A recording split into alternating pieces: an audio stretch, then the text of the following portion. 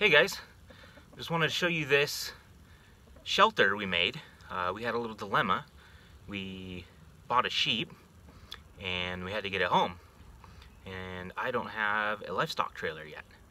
So I did some searching on the internet, of course on YouTube, found somebody that could solve the problem. So we did this, we used uh, three cattle panels and some 2x4s and a tarp and we made this shelter, put it in the back of the truck we were able to get the sheep in there, get the sheep home, and it worked out great. So once again, University YouTube saved the day, and we learned something great, and we just want to pass it along.